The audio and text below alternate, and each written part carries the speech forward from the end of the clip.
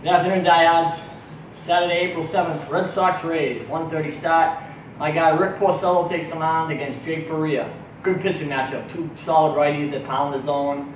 Um, Porcello's a guy that I, I love. I mean, I've first year he came, he struggled and was a mess. And um, the second year he won the Cy Young with the team, and he really worked on his stuff. And he learned how to pitch to hitters, especially pitching in Fenway Park, where you work the inside and the outside corners of the plate to have success as a starter.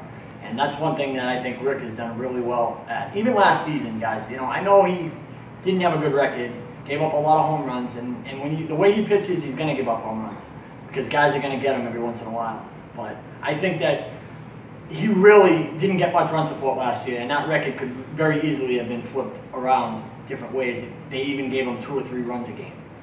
Um, Sox got to win. They got to continue to play good ball. They're six and one right now. Um, beating up on the on the bottom feeders. That's how you win a division. You win a division in April by going 10 and 1 against Florida and the Rays in their first 11 games, or however many they have to play each other. But that adds up. Every game counts. Even though it's April and it's Saturday and it's they got 140 more games to go. Trust me, every game matters. Because when you end up two or three games out, you look back and say, well, we blew a three-run lead in the ninth inning on May 10th. Maybe if we had knocked that one down, that's a game there. And then another game and another game somewhere else.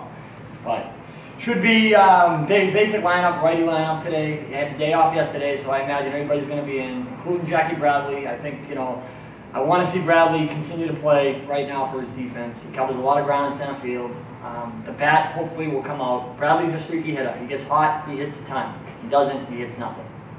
Pretty basic there. Uh, I think today you will see possibly Sandy Leon, maybe. I don't know, though, because they did have a day off yesterday, but I just wonder how they're going to work him in. And I think Swihart needs to get in the game somewhere and see what he's got with the stick. Uh, having him as a pinch runner and not playing much isn't really going to help him develop, uh, as well as, you know, currency down the road, maybe getting Manny Machado or something, throwing him in a package deal um, at the deadline. So they got to get him on the field and getting exposed. But should be a good matchup today. Faria is another guy that pounds his own, overpowering stuff, isn't afraid to throw inside. And I think that, you know, the Red Sox need to win and lock this thing down and end up 7 and 1 because you got the Yankees coming in Tuesday and they need to win today and tomorrow. End of story. No loss today or tomorrow for the Red Sox is acceptable.